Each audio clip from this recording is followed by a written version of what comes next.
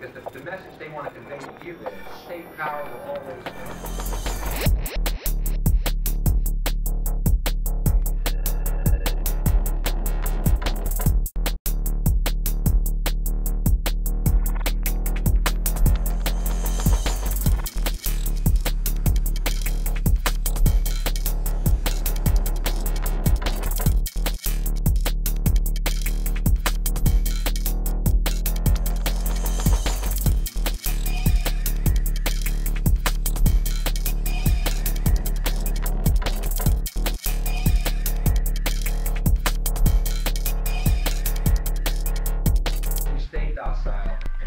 Forget, you're free to do what we tell you.